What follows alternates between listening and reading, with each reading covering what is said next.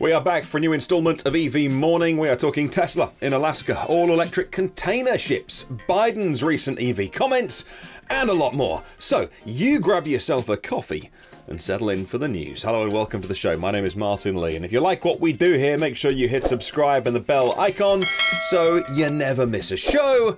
Let's get into it. Now we hear so much news about Tesla. There's something going on every day. It's hard sometimes to pick out other bits of news apart from the actual cars themselves, of which they've sold 2 million now. But other parts of the business are still really interesting. So I was surprised to hear about the amount of Powerwalls that Tesla has now sold and had installed by their partners. The number just hits a quarter of a million units. That's a lot of people having Powerwalls of their home in their garage to power themselves. About 50,000 of those coming in the last half year alone. With each pack installed, that is 13.5 kilowatt hours. That is 675 megawatt hours of storage in the last three months, and also 7,000 Model S Plaid equivalents. So, a lot of batteries required. Earlier packs had a little less storage, but the total capacity, if we knew, would still be hugely impressive. Well, staying with Tesla for another brief story, we wanted to head up to Alaska. It can get a little bit chilly up there.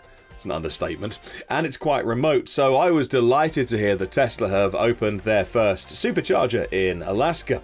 There are four 250 kilowatts V3 stalls installed in Soldotna, south of Anchorage. This addition nudges Tesla even further ahead of the 30,000 units installed globally to date.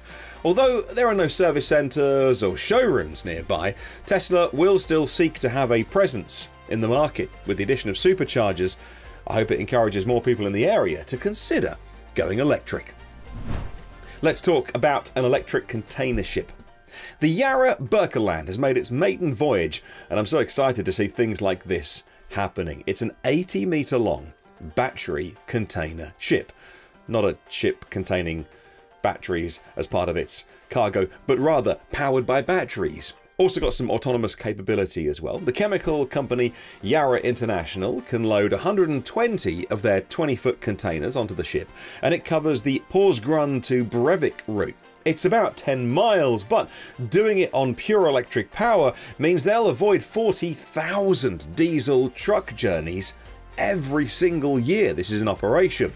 Well, the boat has a 7 megawatt hour battery, has an eco cruising speed of around 6 or 7 knots, but if they want to put their foot down, they can reach the dizzying speed of 13 knots. Not really built for speed, but it is built for power. There are two 900 kilowatt Azipull pods and two 700 kilowatt tunnel thrusters. Hopefully, it's the first of many of its kind. Now, I hate to keep coming back to this story, but the Bolt issue is one that Ah, it just keeps rumbling on. Initially, the Orion assembly plant was to take a three week break from mid November, but in the last few days we hear that GM's spokesperson Dan Flores confirming the production will cease on new vehicles for the remainder of the year.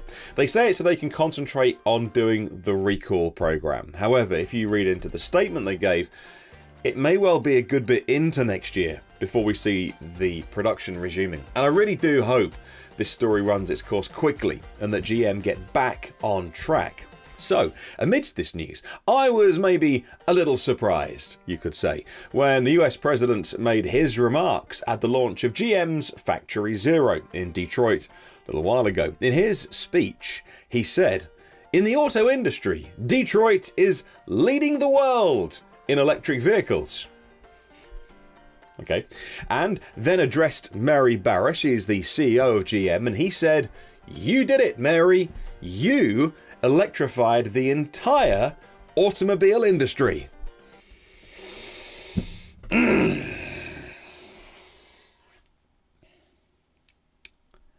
Let's move on. Let's stay in the US for a moment and talk about developments in Ford's EV push. They've announced that they're about to hit 200,000 reservations for the F-150 Lightning.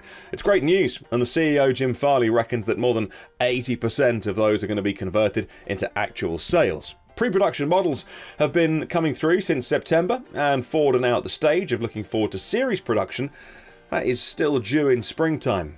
But I don't think that 200,000 reservation number paints the whole picture at all. There's going to be a huge amount of people out there that are EV curious. Some are EV skeptical, and some are just waiting to see what the truck is like when it turns out. Lots of fleet buyers as well haven't fully crunched the numbers, and when they do work out how cheap EVs are to run, ongoing costs, lack of servicing, etc., when they see their friends and colleagues riding in these things, they see the speed and powering their work tools and that huge frunk in action.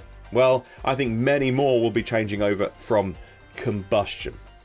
And remember, the Ford F-Series adds up to around a million trucks every single year. The F-Series alone is bigger than so many entire car companies. It's a massive market, and Ford's biggest problem is going to be satisfying demand with scaling up production quick enough. So there you have it folks, that was our quick rundown of the world hunting down the most interesting EV stories on battery storage, even on electric container ships. Let us know what you think in the comments below about the kind of stories that we picked to bring you these news episodes here on the channel. Love to keep the conversation going. What do you make of that electric container ship? How did Biden's comment on General Motors stack up with you? Hmm. Thank you so much for watching the show today. If you like what we do, give us a thumbs up. It tells our bosses that you like this video and they'll get us to make some more just like it. And I'll see you on the next one.